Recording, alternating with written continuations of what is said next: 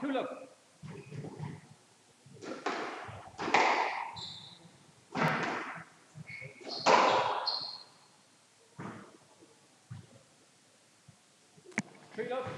morning.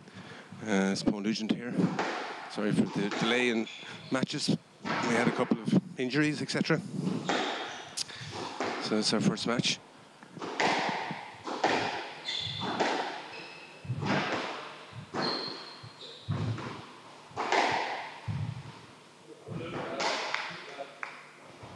Four look. So this is a playoff for uh, fifth and sixth place in the B section.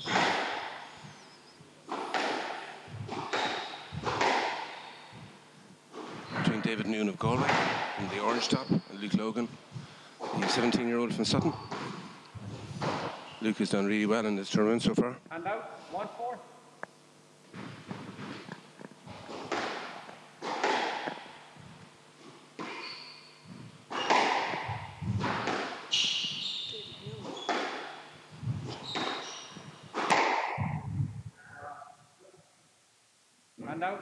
5 1.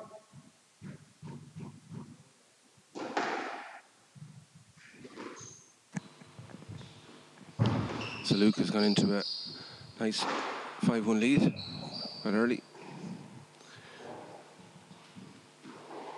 6 1. David is a former junior international. He's away in New Zealand for the last couple of years and has just come back to Galway. And is uh, coaching up in Galway and hoping to get some new recruits for squash in Galway Sligo area. So wish him the best of luck with that. Galway is such a great club great tradition and Sligo as well. Galway having produced many great players, including current Irish international Laura Mi- Mylotte, and Sligo obviously producing Aisling Blake, again the number two and number three in the current Irish women's senior team. Eight, two. Who've done so well in the last couple of years. A couple of silver medals at the European Championships in the last couple of years. Hand out. Three, eight. They played in the Worlds last December in Canada and got a very credible eighth position, justifying their seeding. A little bit unlucky again in the match against Australia. Australia objected to Madeline Perry, saying that she was she had been injured in the previous game, and they claimed that she should, she couldn't play against Australia, so they pulled a little bit of a fast one. Um, Madeline actually was fit, fit to play and wa- was unfit in the previous game. Anyway, so she couldn't play. So Hand out. Four, nine. with the weakened team, then Australia beat us for seventh place.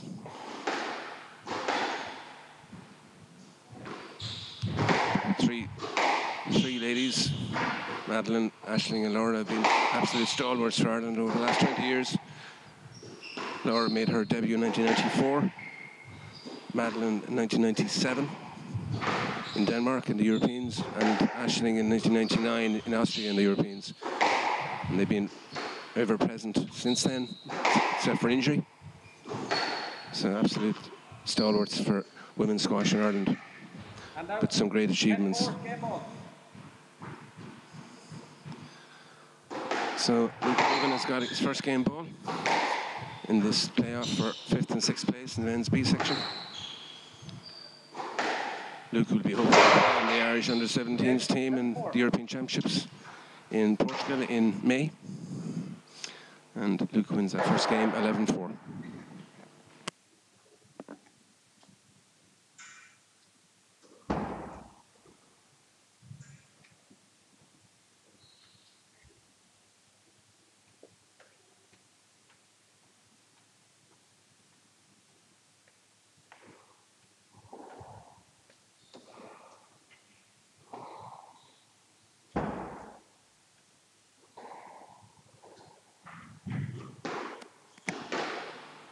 I'm just handing over to Kieran Roach, who's our resident commentator here and just for the live streaming, and Kieran will be commentating for the rest of the rest of the day and culminating in the women's final at two o'clock and the men's final at three o'clock. So make sure to stay with us.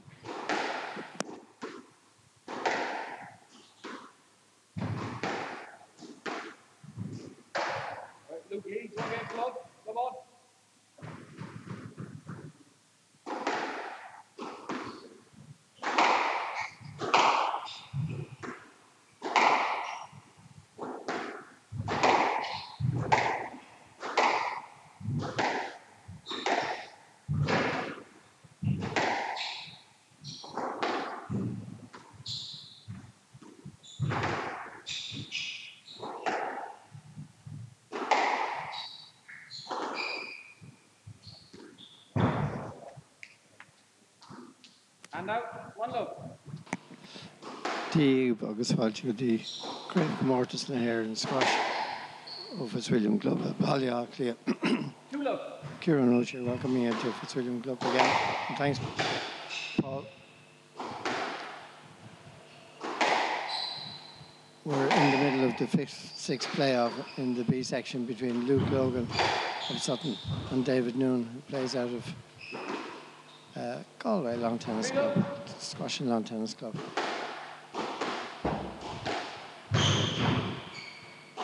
All right. Don't know why Luke didn't try and get that ball. I've seen people do it, but uh, not when they fall on their on their back. Usually, if they fall on their front, it's easier to get up quickly. and now, One four. One four.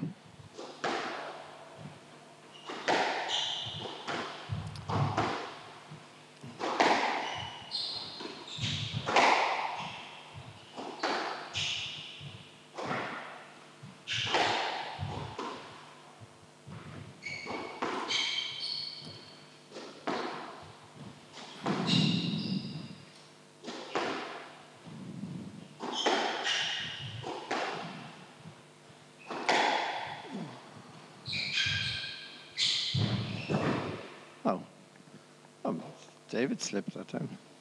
Sometimes, actually, when players are perspiring or sweating, uh, if it gets onto the floor, it can cause the shoe to slightly uh, grip too tight on the floor.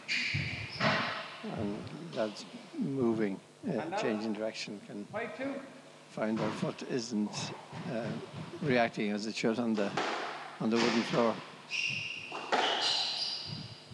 That's lovely length from David. Just Six a gentle little push of a ball because the, it was such a good length. It's very difficult to get.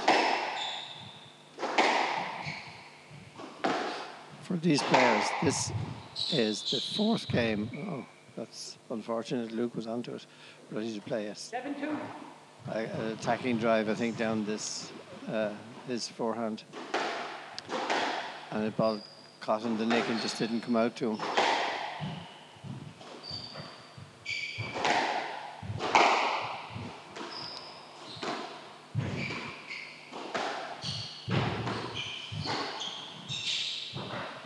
Ah, That's a lovely drop from Luke. And out. Three seven. Lucas uh, plays at a Sutton, coached by Owen Ryan. There are many uh, highly promising young players um, in that stable or school of players in Sutton at the moment. Luke is one of the brighter lights of it. Oh, bad miss from David.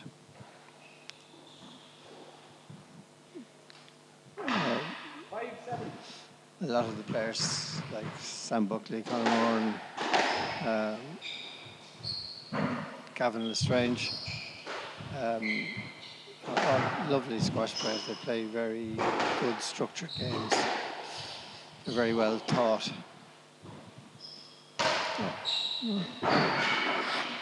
David's annoyed with himself there Six seven. for a totally unforced error. Ah, that's a very good position of a, if he'd crossed the court, he was in dead trouble. Created another opportunity and missed it. 7 0. Seven all. Uh, David's playing in Galway.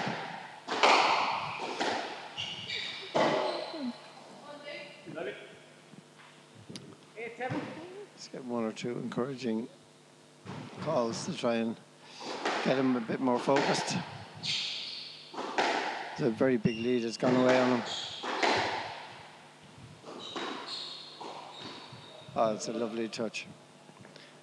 I remember myself when I um, started um, watching junior squash, seeing David as a young man, not much difference in age than his opponent today, Luke, and he really was one of the top juniors in the country.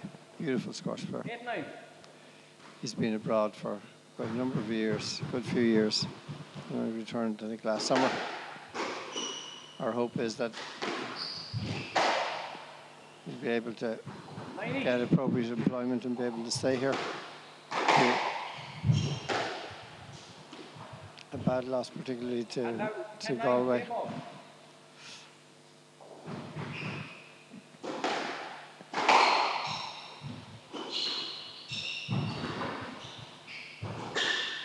Ah, that's a lovely recovery shot from Luke. Uh, David had dug him right into the into the corner, and he got himself out by playing a high lob. That gave him time to recover. Ten each. David still won the point. Oh, lovely and Beautiful job. 11 10, game ball. 11-10 game ball. You win by two clear points. Once you get to 10 all.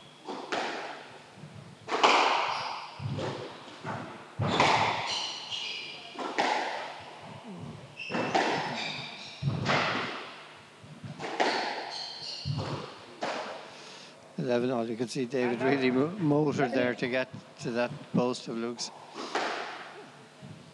There's a lot of urgency in the way he played it. Oh, that's a beautiful shot. How did David get that angle from that position at such a stretch? Superb.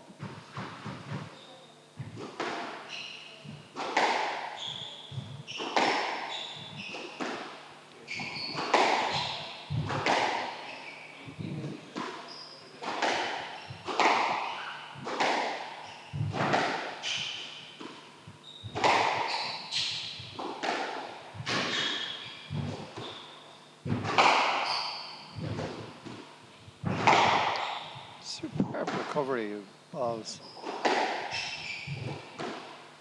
At least twice there, I was sure that someone had played a winning shot. Yeah, 13 11. And Luke particularly was his scrambling was superb, but David prevailed to make it one all. One of the difficulties for um, David in Galway would be the opportunity he has to play top class players, and you'd wonder if um, if he's getting enough seriously competitive games uh, to equip him to deal with a weekend like this where he has to play four games in, in a matter really of less of just two days, playing Friday night, Saturday morning, Saturday afternoon, and here Sunday morning to play for the the final time in the weekend, long hard weekend of squash. I kind of remind you all that for all of these players, no matter how fit and um, accomplished they are, Monday morning will be greeted with a lot of very stiff bodies that will reluctantly be getting themselves out of bed. And if it's my case almost need assistance to get the, the basic shirt on over aching muscles at the time you never you always feel why do I do this to myself? But while you're in the middle of the games you think hey it's well worth it. The joy of sport.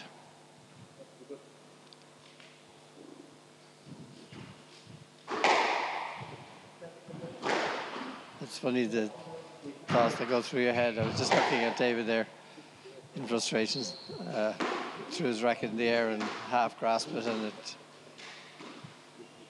tumbled to the ground. I remember having words with him in a, a junior competition many years ago about doing that at the end of a game.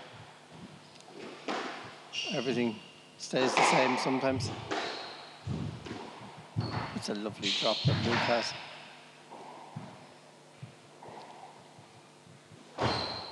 Logically, you'd expect that the experience of David would prevail in, in, in a game like this.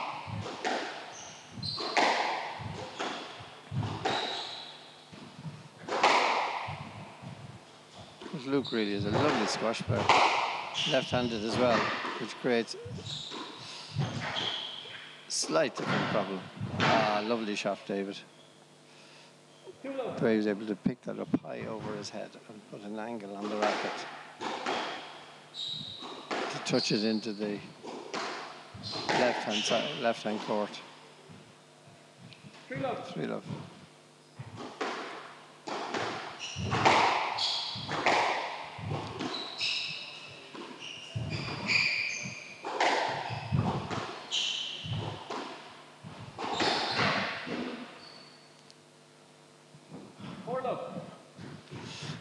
It's interesting that in the first game that Luke won quite convincingly, Yes, lad. Four love. um, there was a sense that David was moving quite lethargically. I almost felt that his the lactic acid was Four four. was a stroke because Luke didn't get out of David's way, therefore prevented him from hitting the ball. Oh, it was unfortunate there. He got to it and played the right shot, but probably slightly too much at a stretch. Yes, I felt that David was quite lethargic in the first game. Sometimes after a hard weekend on a Sunday morning, the lactic acid is screaming at your muscles, telling them not to be moving too much. Sometimes it will take you a, the first game to begin to to shift them sufficiently that the muscles do what you tell them to do more effectively. It seems to be the case in David. In David's case, he's moving much better now onto the ball, much quicker, with much more purpose. Two six.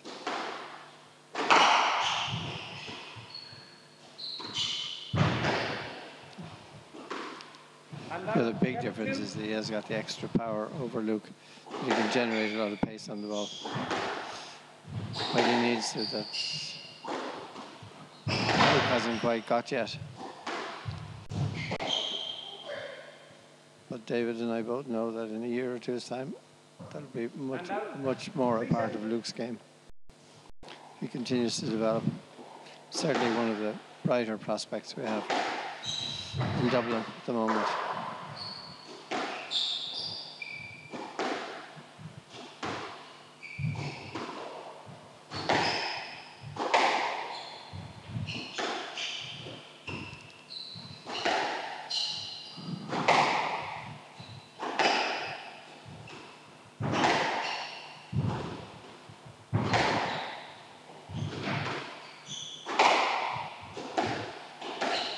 Stroke. And David screamed out of frustration at himself. seven from the left. Having been in control of the rally for five shots and Luke really just scrambling to to dig retrieval shots out. David plays the loose one and gives the point away. That's the advantage of being good at at scrambling and retrieving difficult shots. You never know when it turns to your advantage. A lovely shot from David again. Again, he's using a lot more power than he was earlier on.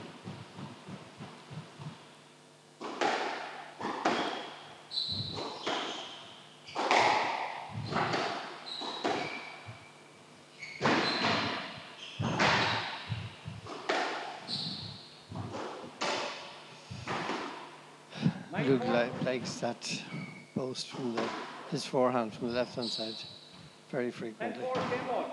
It's a nice running boast.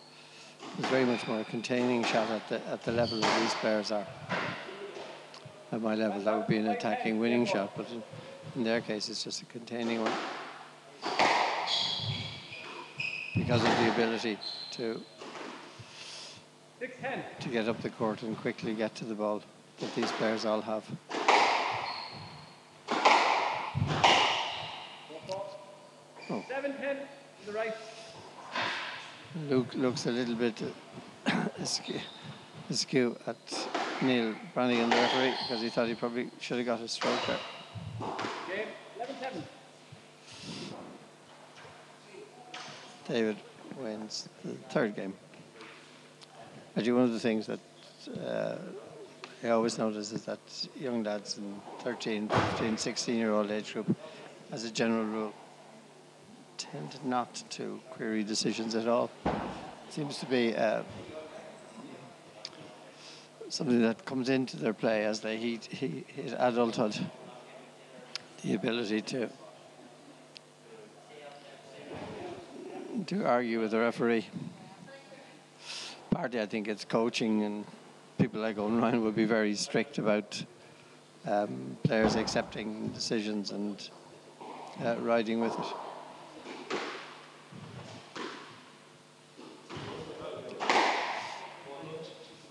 Again, it shows one of the other bigger advantages of uh, playing sport, whatever type of sport, but squash, as with many other sports, is the good, the discipline and the good habits it teaches the young people. Just another reason to encourage the youth of our country to get out and play sport. And certainly, for those so inclined, squash is a wonderful sport to play and enjoy. Earlier this week, I took a young lad onto a court for the first time. Uh, he was in his teens, but just to see the enjoyment he got out of the intense physical exercise was heartwarming.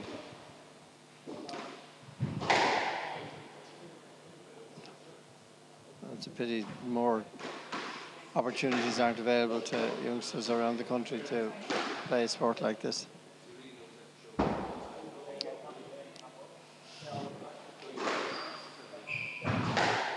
So David Noonan leads two games to one.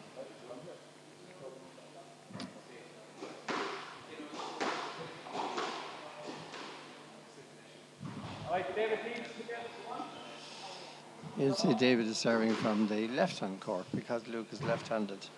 Normally, the, commencing squash is done into the backhand of the. Although some players are actually very adept at playing backhand, and you might change and play into their forehand as, as the starting point.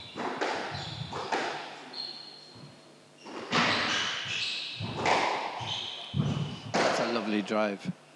Great depth to it from Luke. One all.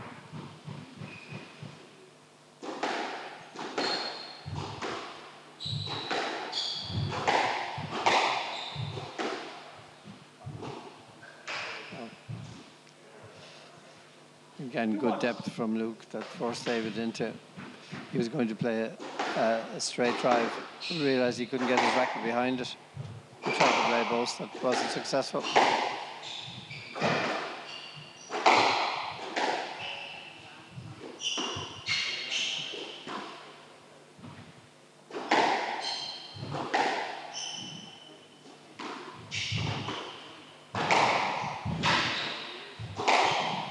Ah, that's superb.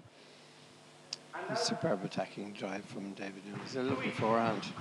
Luke just got the racket to it, but could only dolly it up in the air, and David was onto it very quickly before Luke had fully re- recovered to the tee.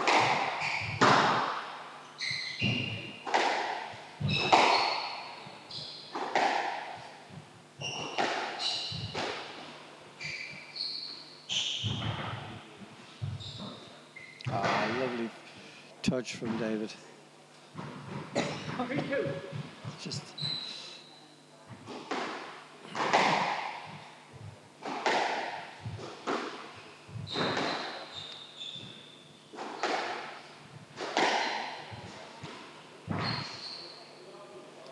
it's a very nice.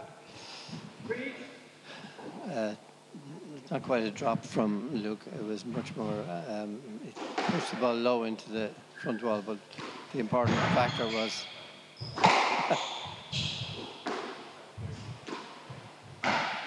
Ah, that's a lovely, lovely drop from, from Luke.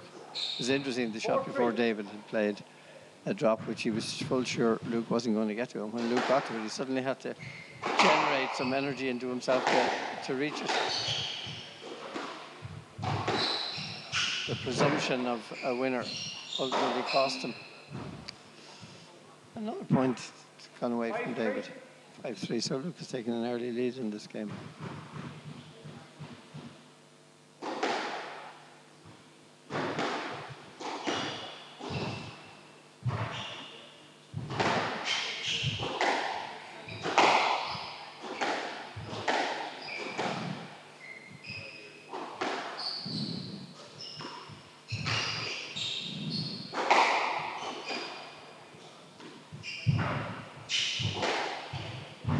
This is a highly uh, interesting and very competitive. That's a beautiful return from Luke.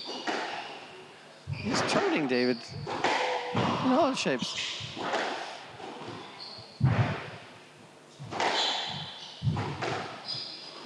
Ah, yes. That's an absolutely superb rally of squash. I wish we had replay and we could look at that again, the movement of both players. I mean, particularly David Noone. The lactic acid has disappeared from his muscles they work very hard for it, but then he gets a soft point after. Five each.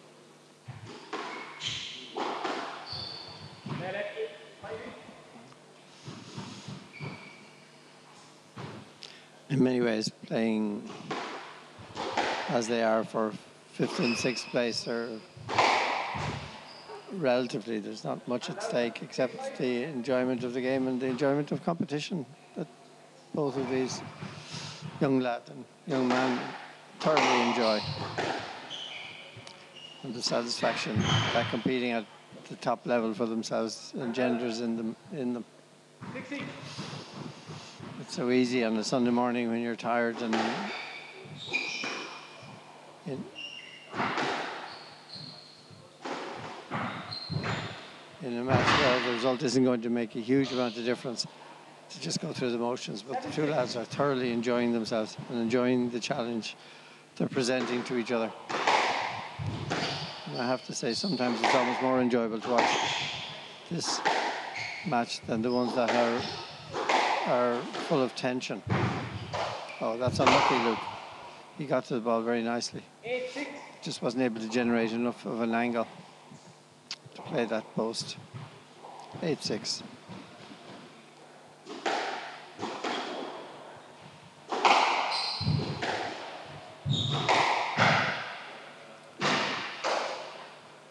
Nine six. I was just talking just before the game started to Rory Byrne.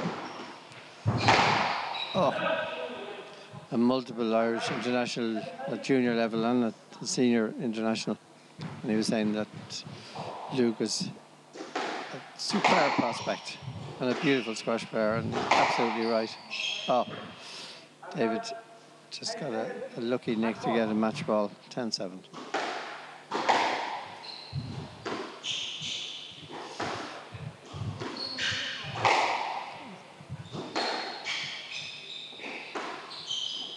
Oh, that's a beautiful shot from David, David to win the game. So lads, shake hands, acknowledge, thank each other for the sport, and thank the referee Neil Brannigan for a job well done. In fairness, I did, can't remember one single call either player made. They just cleared space for each other. Uh, so, David Noone wins 4 11, 13 11, 11 7, 11.